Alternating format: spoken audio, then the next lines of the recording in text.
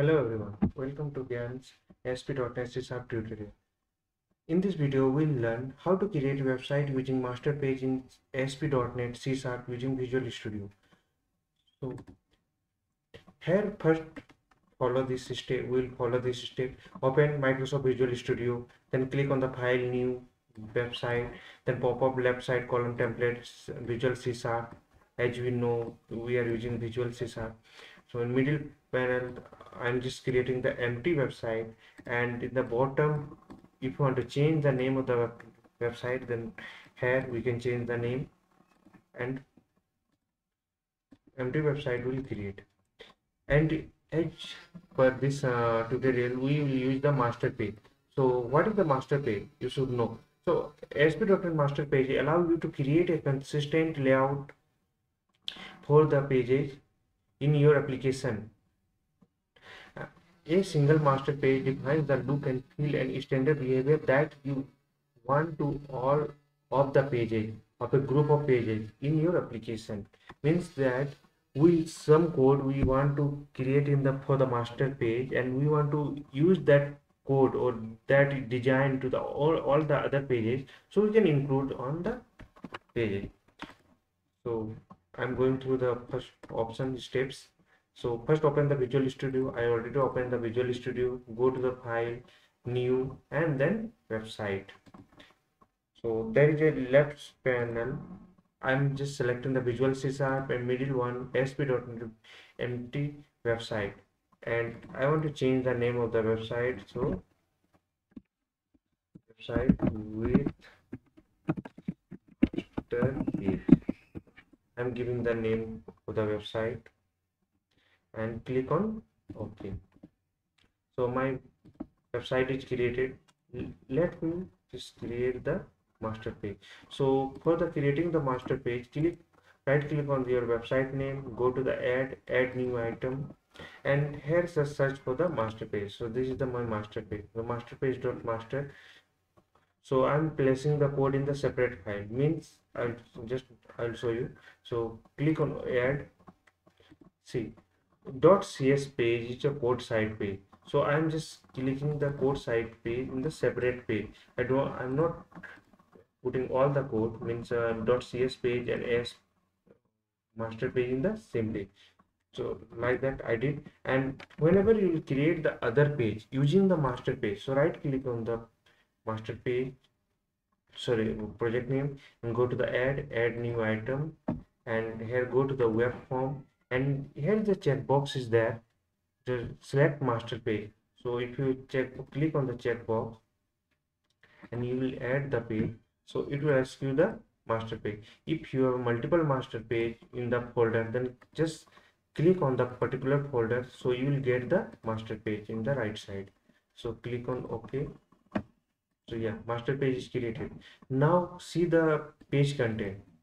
So page content is the depend upon the placeholder id and here is the master page. So go to the master page and see. All the html codes are written here. And only one thing is different here i am calling for the content placeholder. And id is head and another id is content placeholder id1 so it will refer the two content placeholder on the pages where we'll just include the master page. So go to the default.aspx and see here here's the head. So whatever you will write between this tag it will just reflect on this place. And whatever you will write on the content placeholder folder one it will reflect on the head in this space. Just i am going to write something.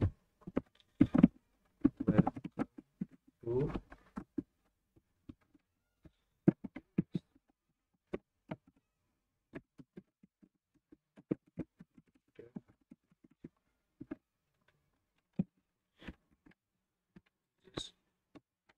writing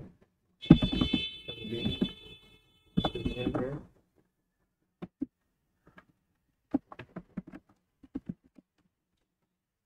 let me write some class.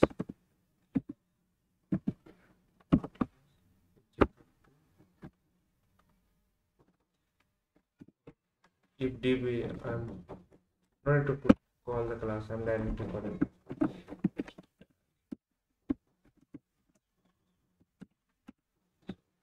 div div is the html tag so no need to put the dot for that for the class or hash for the id so i'm putting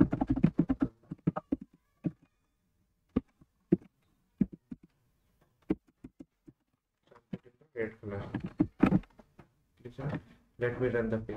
So never run the master page. Just run in the whatever the page you created as page page. So click here. Right click on browse. So see. Welcome to ASP.NET if you go and control plus u for the page source. Here you can see in the in the head tag there is a style. And this style is written in the default page default page. But all the html tags are coming from the uh, from the master page. Just i'll give you the example one more thing. Here i'll write I'm putting the title for that and just let me refresh the page. See my coding is coming here you can see the title is here. Or title is written in the master page and style is written in the de default page. In the default page. But all the codes are appending each other. So this is this is why is happening. So i created the master page and in later on videos we'll see how to use the multiple master page in multiple pages when we'll just integrate the template. Thank you for watching